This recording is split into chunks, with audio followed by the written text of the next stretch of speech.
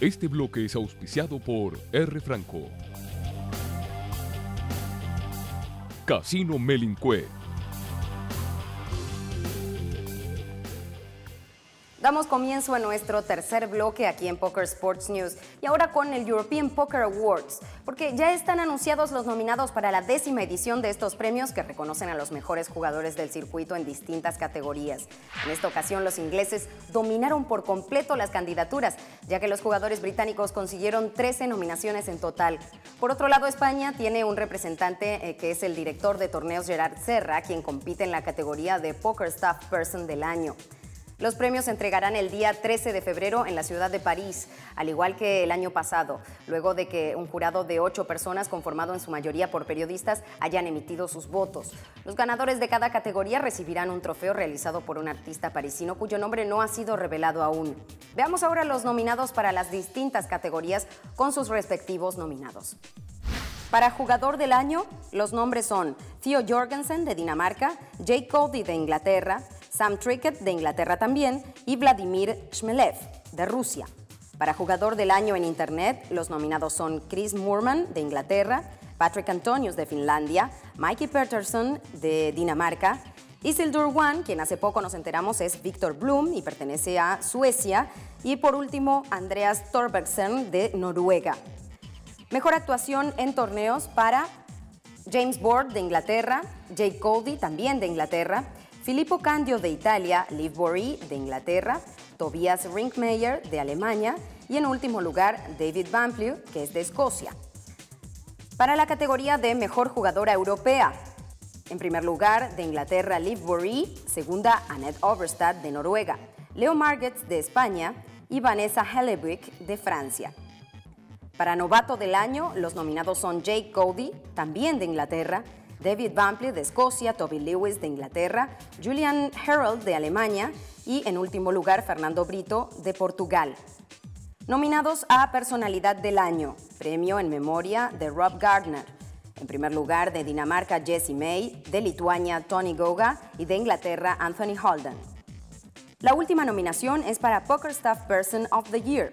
Será Marty Wilson, Matchroom Sport de Inglaterra Simon Trumper para el Dusk Till Dawn de Inglaterra, Thomas Kremser de TK Events por Austria, Gerard Serra Retamero de TK Events por España, Christy Thompson en último lugar como presidente de la UK IPT de Inglaterra.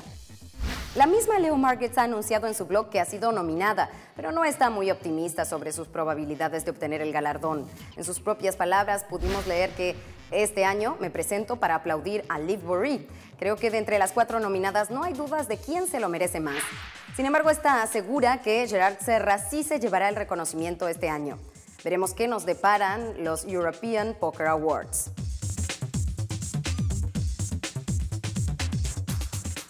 El 10 de enero comenzó la fábrica de Cracks una promoción de Betfair Poker para jugadores españoles cuyo premio final será un curso intensivo para ocho jugadores que se desarrollará durante una semana en Valencia con los profesores de Educa Poker. A su vez, el mejor de estos ocho jugadores conseguirá un paquete de 25 mil euros para jugar en el circuito profesional español de póker patrocinado por Betfair Poker. El seminario se celebrará del 18 al 24 de abril y estará impartido por Raúl Mestre, Alex Forever y JL que durante toda la instruirán a los ocho seleccionados en las diversas modalidades de póker. Durante esos siete días los jugadores vivirán y jugarán al póker online en un lujoso ático en el centro de Valencia. Deberán practicar distintas disciplinas de póker según el programa elaborado por los profesores. El mejor tras los siete días de juego será el jugador que represente a Betfair Poker en los torneos en vivo del circuito español. Hay muchas maneras de ganar un puesto en el seminario, por lo tanto cualquier jugador puede disfrutar de la promoción, sea un jugador de largas distancias o experto en torneos, o si juega en límites altos o simplemente es todo un campeón jugando cientos de manos. La fábrica de Cracks es una promoción abierta para los usuarios de Betfair Poker en España, pero sería muy interesante que llegara aquí, a América Latina. Así es, Manuel, esperemos que esto sí suceda. Y como ya saben, la semana pasada Phil Helmut abandonó oficialmente UB, la sala que lo patrocinó durante los últimos 11 años y de la cual fue la imagen principal. Ahora UB ya se encuentra incorporando rostros nuevos y Phil es un jugador libre si dejamos fuera su contrato con el Casino Aria de Las Vegas. En su entrevista que el jugador concedió en Card Player comentó sus planes y las opciones que contempla para volver a vestir el logo de una sala online. En principio, Phil aclaró que para él no es importante ser el rostro principal de una sala, algo que muchos pensaban que le significaría problemas al momento de firmar un contrato. Al contrario, Phil Helmut anunció que eh, estaría feliz de pertenecer a un equipo más grande, a su vez dijo que no solo está considerando opciones de las dos líneas, de las dos salas líderes, sino que también estaría dispuesto a irse con otras compañías como por ejemplo Singa. Si la ley cambia, de pronto Singa sería un sitio con 5 millones de usuarios de póker y eso me pone en una fantástica situación para representarlos, explicó Helmut. Por el momento, él no tiene nada concreto para este año, pero acorde a su egocéntrica personalidad, se encargó de aclarar que el teléfono de su representante no ha parado de sonar. Es bueno ser buscado y yo soy lo suficientemente afortunado para ser buscado, afirmó. Sin embargo, esta semana Phil dio a entender en su Twitter que está manteniendo reuniones con Full Tilt, por lo que se podría creer que esta sería la nueva sala del excéntrico jugador.